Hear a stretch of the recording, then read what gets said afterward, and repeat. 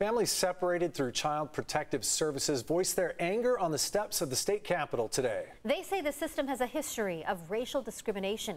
Now they're calling for reform on the state and national levels. Our political reporter Morgan Rynor spoke with desperate families today.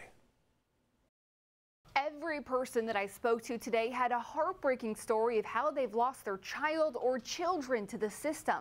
So they came ready with a list of solutions they're hoping get accomplished.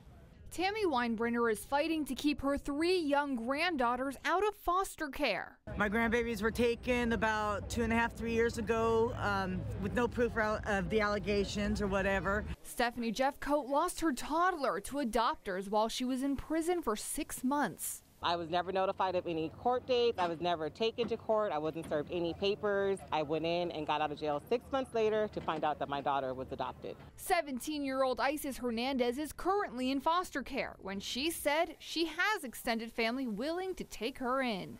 My aunt, she lives around here. And they won't let you stay with your aunt? Family? No, because it's not in Kern County. One family after another took to the steps to share their personal experiences. We're talking about, let's be clear, dismantling a racist and dehumanizing system. Vanya Quarles is the director of Starting Over Incorporated.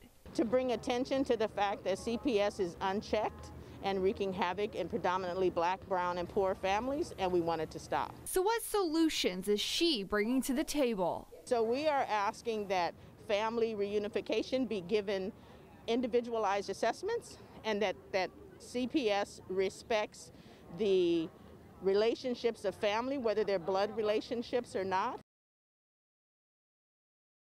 Child Protective Services declined comment other than to say each case is handled on a county by county basis.